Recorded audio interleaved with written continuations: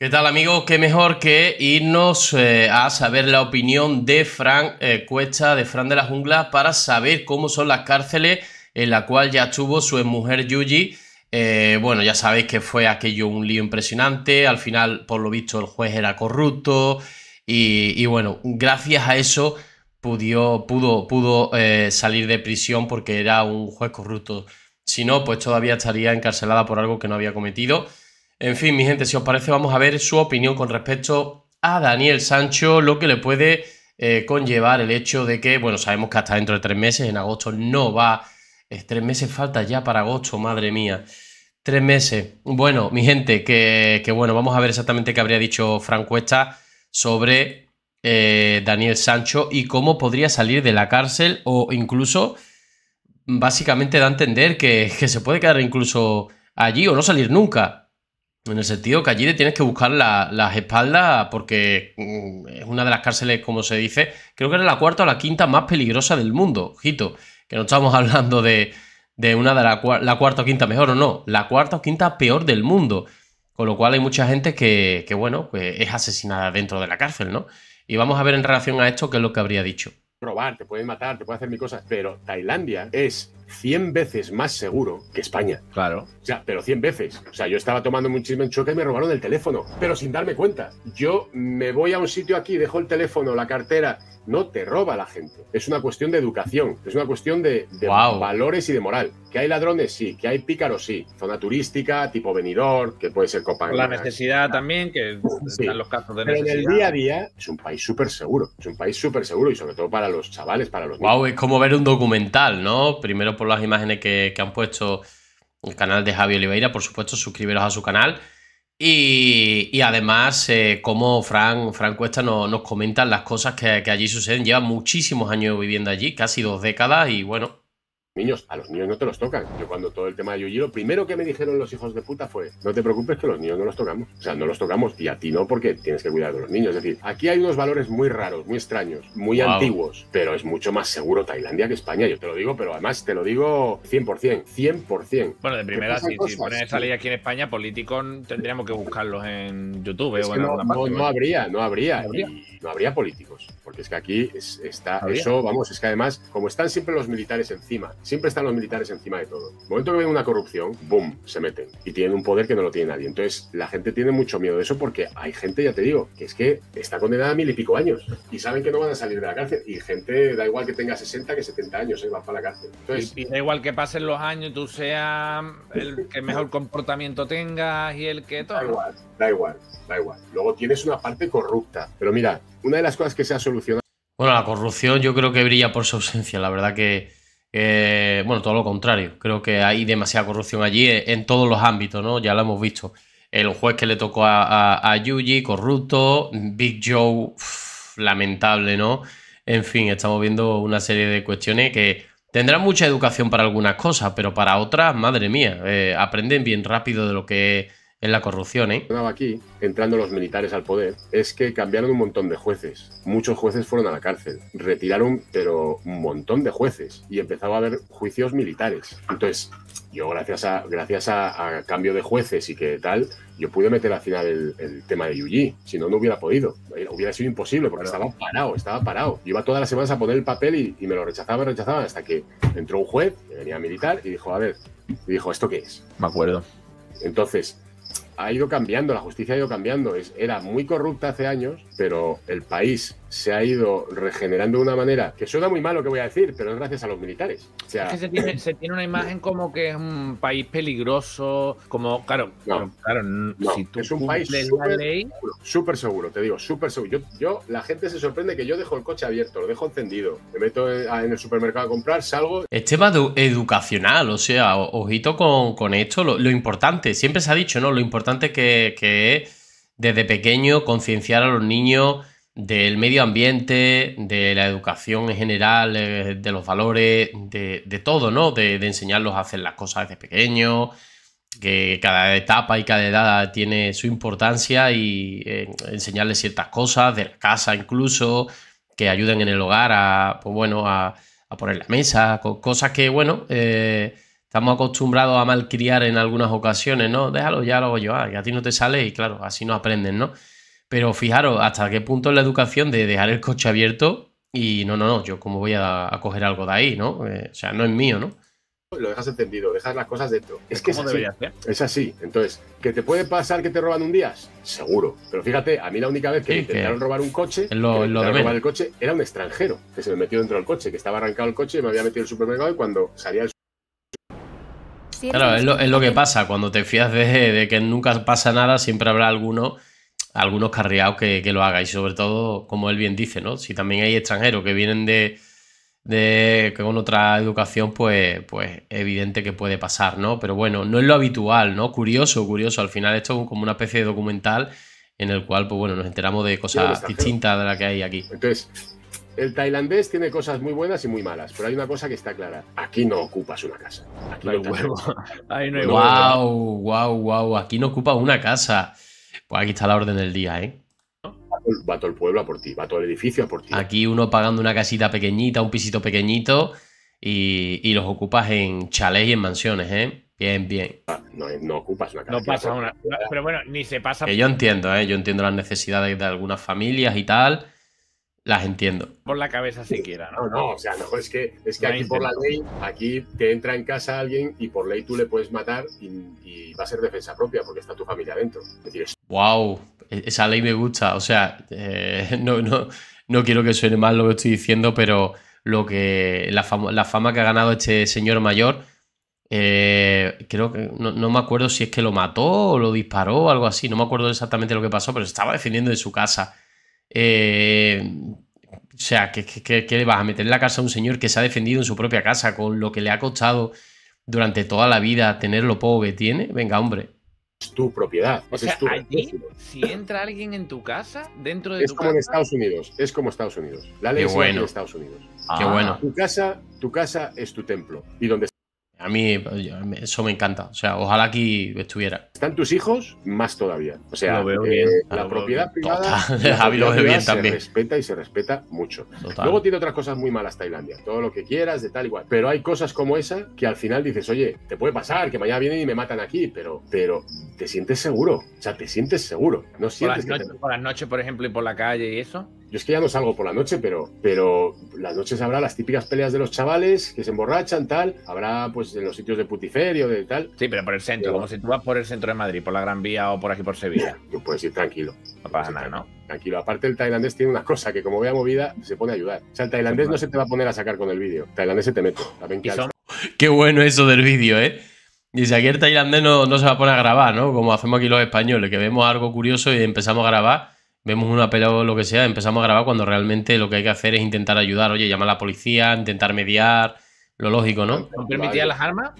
Sí, sí, sí, sí, todos tenemos armas, eso sí. Pero en plan armas de fuego y todo tipo de armas. Sí, claro, sí, claro. ¿Se puede? Sí, sí, yo tengo en casa. Eso no lo veo bien, evidentemente. Todo el que tiene un arma y se le va la pinza, se cabrea con un vecino, se cabrea con cualquiera, tiene la posibilidad de coger, de cogerla eh, en un momento de eso, de calentón y, y eso es lo que pasa en Estados Unidos, ¿no? Por eso muchas veces eh, ha entrado un perturbado en un cine, ha entrado un perturbado en una guardería, en un instituto, porque lo tenían acosado y ha matado a sus compañeros. O sea, por eso digo que las armas deben de restringirla y que solamente la tengan las personas que tienen que tenerla, ¿no? Pues un cazador con su licencia, un policía, un guardia civil, lo que sea. Siempre ha habido, siempre ha habido. Tú te sacas tu licencia y tienes que registrar el arma, registrar las balas que tienes, tal igual. Pero bueno, por lo menos hay un registro. Es que es necesario por si te entra un loco. Y si te entra un loco, disparas y luego preguntas. Y, está registrado el arma, se ve que ha sido tú y, está justificado.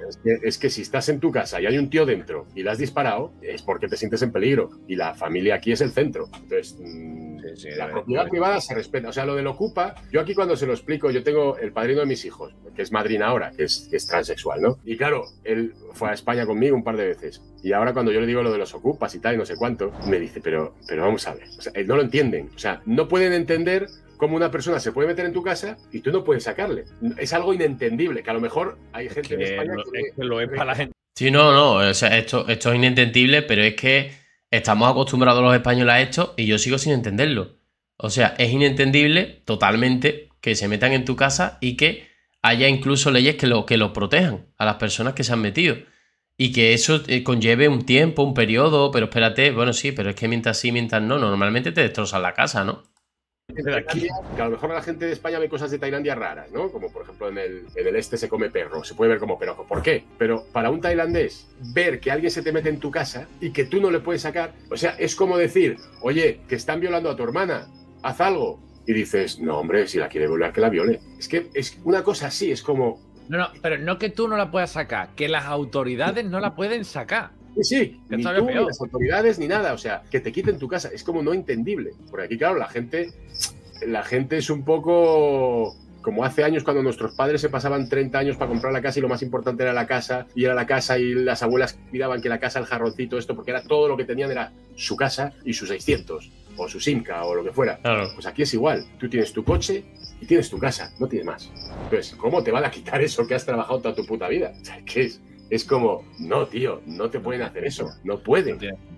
Estaríamos hablando, Fran, de que esto entonces no estaríamos hablando de este caso, ¿no? Dice, Tailandia es conocida por su dura ley y código penal. Según este, el homicidio puede ser castigado con cadena perpetua o un periodo de encarcelamiento de entre 15 y 20 años. Sin embargo, en casos extremos podría aplicarse la pena de muerte, aunque esta medida se aplica con poca frecuencia actualmente. Siempre se conmuta, se conmuta con, una petición de clemencia al rey. Hace bueno, al final, al final todo se conmuta, ¿no? Parece ser, todo, ¿no? Hasta incluso la, cadena perpetua. Veintitantos años que no hay una pena de muerte aquí. Treinta años. No se ejecuta una pena de muerte. El rey siempre las, las conmuta. Tú pides clemencia y el rey la clemencia. O sea, el rey te la, te la conmuta, pero te queda en cadena perpetua, que es lo que te digo. Pueden ser seis, ocho, diez años aquí y luego, si eres de un país extranjero, te pueden llevar. Si no, te vas a comer aquí. Ojito que básicamente lo que está diciendo Frank es lo que le podría pasar a Daniel Sancho, ¿no?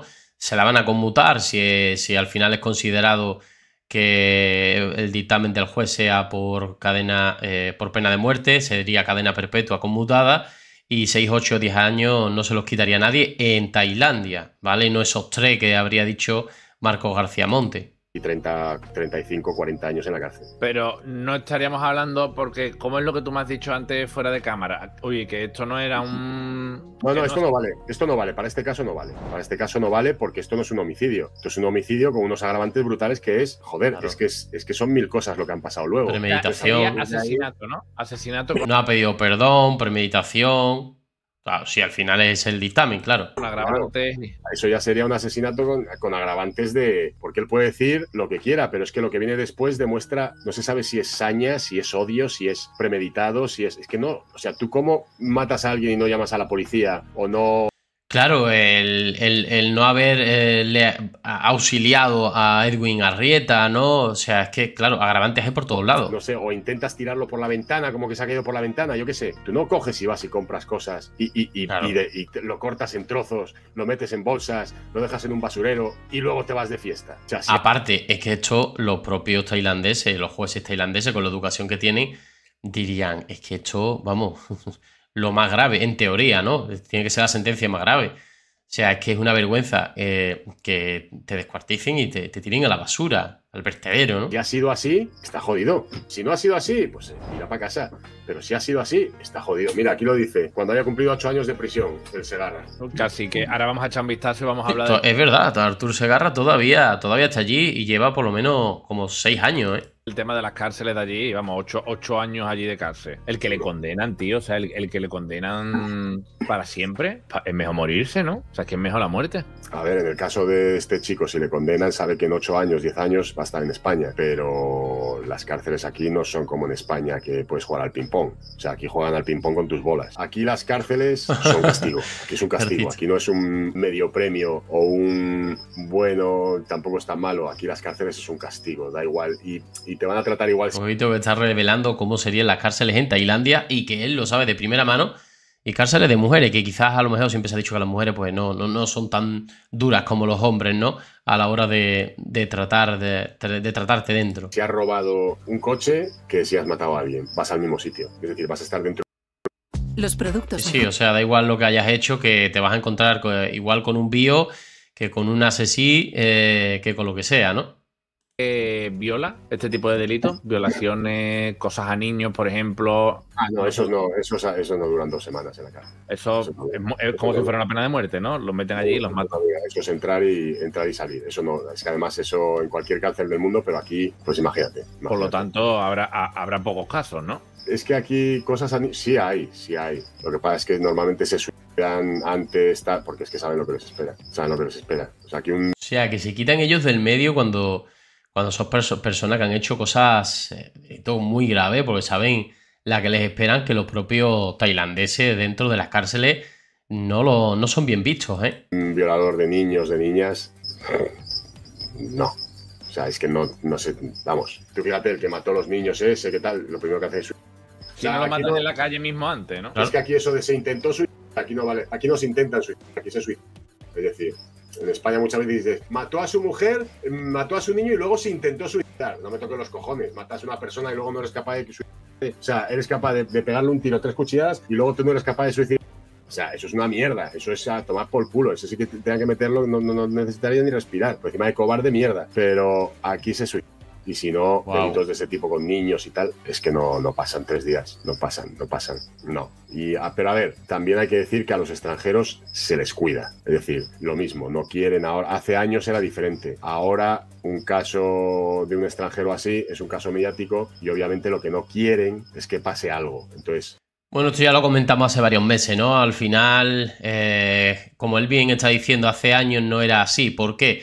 Porque hace años pues, no había esta repercusión de que cualquiera en redes sociales, cualquier familiar pudiera alzar la voz, no, era distinto, ¿no? Acudir a la televisión, en fin. Eh, pero ahora con el tema de las redes sociales, que hecho lo otro, pues imaginaros, ¿no? Eh, imaginaros que un extranjero que está ahí encarcelado le pasa algo, sus familiares lo, se hacen virales diciendo lo que está sucediendo dentro de Tailandia, eso conlleva a mala prensa para el turismo y evidentemente por consiguiente que puedan perder eh, eh, eso, es, esas visitas, ¿no?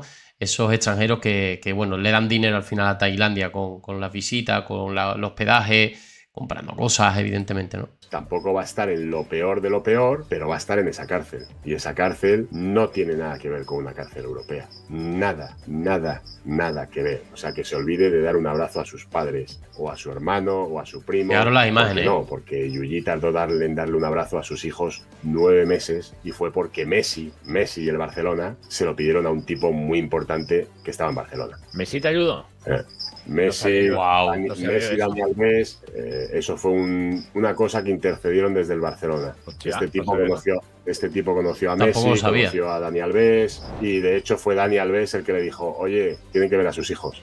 Ah fue cuando vieron a, su madre por primera vez después de nueve meses. Mm. Madre mía. ¿Y después de nueve meses? Una vez al año. Una vez al año, tío. Poder abrazarla, verla una vez a la semana iban a verla. Entre, cristales o algo. Sí, sí, no, cristales sucios. Y yo le llevaba comida, pero o sea, a mí que Yuji saliera de la cárcel viva y en buenas condiciones me costó muchísimo, muchísimo, muchísimo esfuerzo. ya lo ha dicho. Muchísimo dinero. Y muchísimo dinero. hablando de la de mujeres que estaba. Creo que eran 200.000 euros, ¿eh? hablando de la de mujeres que está más. He estado viendo, sí, he estado viendo, porque eh. es difícil encontrar vídeos, imágenes mm, de dentro y estas cosas, porque lo que pasa dentro de las cárceles de estos países, bueno, de estos Asia es diferente, Asia es diferente. Asia, sí. Asia África. Es, complicado que estén grabados que haya, que se sepa lo que pasa dentro de. Claro, no interesa, no interesa saber que, ahí no hay derechos humanos, porque, insisto, da mala prensa a la hora de que el turismo quiere ir allí y diga, bueno, si algún día me pasa a mí algo allí, ¿no? Tengo una pelea fortuita con alguien o tengo un accidente de tráfico y me meten en la cárcel, yo no quiero acabar ahí, ¿no? Prefiero irme a otro lugar donde si, si algún día me pasara algo, y no quiero terminar ahí por, por, por una casualidad del destino, ¿no? De las cárceles, ¿no? Pero aunque tiene tela ya la de, la, de mujeres, que he estado viendo cómo, cómo dormían, he estado viendo algunas algunas imágenes que he encontrado, pero es infinitamente, yo diría, Frank, infinitamente diferente a la de hombre. O sea, la de hombre ya es. Bueno, aquí estamos viendo. No tiene, nada que ver. Eh, esto no sé si será una celda o qué es lo que es. esto, es. es un hacinamiento total. pero vamos, es eso, es eso, es eso. Las cárceles en Asia son así O sea, olvídate de una celda que tienes tu camita y una televisión y que te puedes. No, no. Es lo... duermes donde tienes que dormir, donde pillas. Voy a poner un vídeo, Frank, con tu permiso, de la que dicen que es la peor cárcel de Tailandia. No sé si será verdad.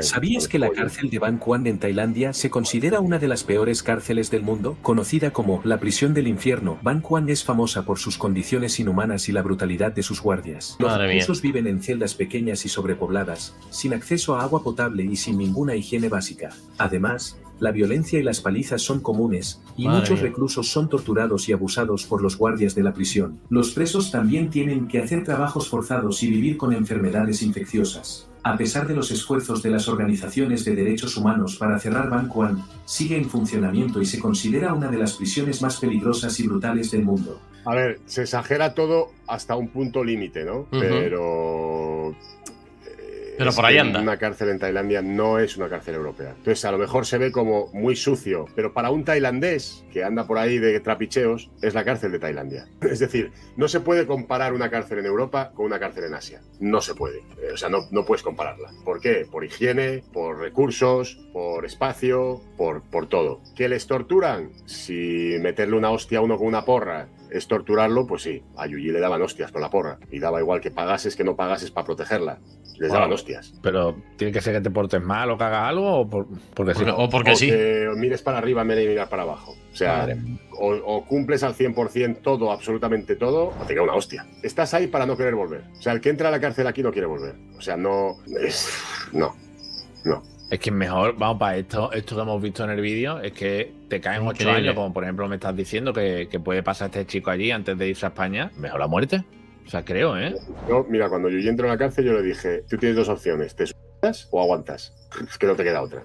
O sea, lo que no podemos estar es todos los días con ay, ay, ay. O le echas huevos y, y al final, mira, pero hay mucha gente que no aguanta.